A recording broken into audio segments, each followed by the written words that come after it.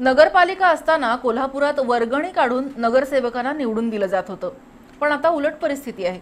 निवडणुकीच्या काळात तुफान पैसे वाटायचे आणि नगरसेवक म्हणून निवडून येण्याचं प्रमाण वाढले ही लोकशाहीची थट्टा असून एक प्रकारे देशद्रोह आहे असं मत बाळ घाटगे यांनी व्यक्त केलं. महापालिका निवडणुकीच्या निमित्तानं आयोजित जनजागृती मेळाव्यात ते बोलत होते. कोल्हापूर महानगरपालिकेच्या निवडणुका तोंडावर आहेत. या निवडणुकीत स्वच्छ प्रतिमेचे आणि चारित्र्य संपन्न नगरसेवक निवडून यावेत. यासाठी ज्येष्ठ कार्यकर्ते बाळ घाटगे यांच्या पुढाकारानं शनिवारी जनजागृती मेळावा पार पडला.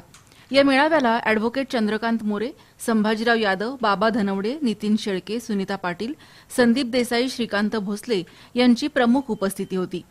उमेदवाराकडून पैसे घेऊन मतदान करणं म्हणजे स्वतःच्या प्रभागाचं नुकसान करून घेणं आहे. पैसे घेऊन मतदान केल्यानं नगरसेवकांना काम सांगण्याचा नैतिक अधिकार नागरिकांना राहत नाही. त्यामुळे आपलं मत न विकता चारित्र्यसंपन्न उमेदवाराला मतदान करावं असं आवाहन जिजाऊ ब्रिगेडच्या सुनीता पाटील यांनी केलं. शहराचा हद्दवाढीचा प्रश्न अजून प्रलंबित आहे.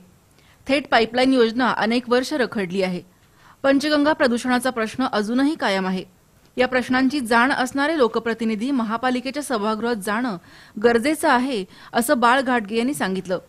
पैसे देऊन आणि घेऊन निवडणूक लढवणं हा देशद्रोह आहे असं मत बाळ घाटगे यांनी व्यक्त केलं.